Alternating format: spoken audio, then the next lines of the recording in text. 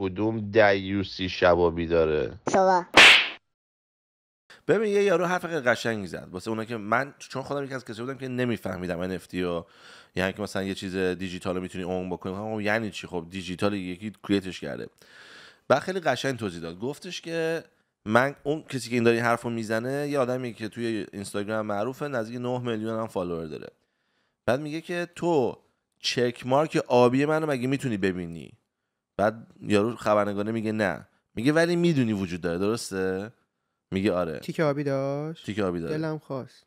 بعد داشتی دیگه دیگه تو که داشتی تو که نمی‌تونی قول بزنی. بچه بیا پایین خب. بعد دیگه خیلی خیلی جالب بود. یادم نه آره مثلا یعنی میگو یه چیز فیزیکی نیست. آره می‌گفت دیگه دنیا دنیا فیزیکی نیست. می‌گفت می‌گفت اکچولی بهتره.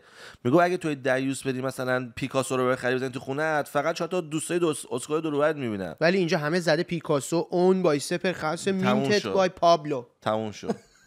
مینتد بای پابلو رو بگو.